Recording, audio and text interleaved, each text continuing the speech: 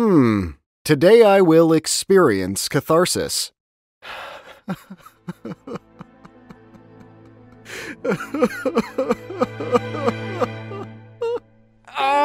God!